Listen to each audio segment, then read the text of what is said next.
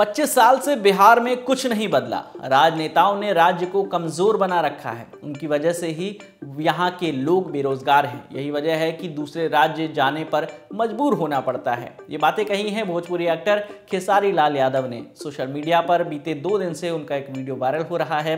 खेसारी इस वीडियो में बिहार के खराब सिस्टम और यहाँ की बेरोजगारी पर सवाल उठाते दिख रहे हैं। उन्होंने कहा कि बिहार में रोज़गार होते तो आज यहाँ के लोगों को दूसरे राज्यों में नहीं जाना पड़ता। इस बयान के बाद खेसारी लाल यादव को जन समर्थन भी मिल रहा है। खेसारी लाल यादव इस वीडियो में साफ़ शब्दों में कह रहे हैं कि वहाँ के राजनेताओं ने इस राज्य को कमज़ोर बना रखा है। इस वीडियो में खेसारी लाल नेताओं के खिलाफ बातें करते हुए कहते हैं, जब हमारे नेता अपना इलाज करवाने के लिए एम्स में जाते हैं, हमारे नेता अपना इलाज कराने के लिए मुंबई जाते हैं, विदेश जाते हैं तो ये बताइए कि जब ये अपने इलाज के लिए अस्पताल नहीं खुलवाए हैं तो हमारे इलाज के लिए कहाँ से खुलवा पाएँगे? खेसारी ने आगे ये भी कहा कि, मेरी उम्र आज 28 से 30 होने जा रही है 25 बरस से तो ऐसा ही देख रहा हूँ कि हमारे बिहार में बदलाव कुछ हुआ ही नहीं है। दारू बंद हुई है, तब भी मिल रही है।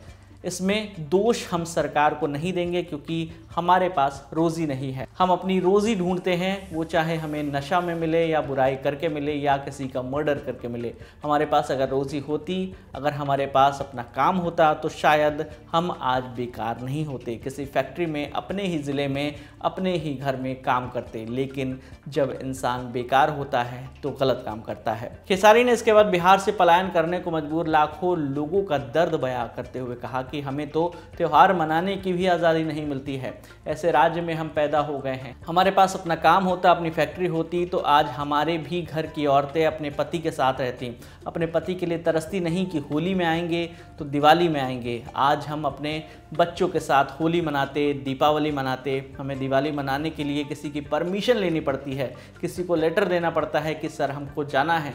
अपनी बीवी के पास, छठ आ गया है। तो हमें तो त्यौहार मनाने की आज़ादी ही नहीं मिलती है। खेसारी ने आगे कहा कि वो अपने राज्य से नफरत नहीं करते, बल्कि यहाँ के सिस्टम से नफरत करते हैं। उन्होंने इस बात में राजनेताओं की ओर इशारा करते हुए ये भी कहा कि उनका एक ही काम है, जब इलेक्शन आएगा और बाढ़ आएगा तो रोज़ आएँगे। खेसारी के इस बयान को लोगों ने सोशल मीडिया पर वायरल कर दिया है।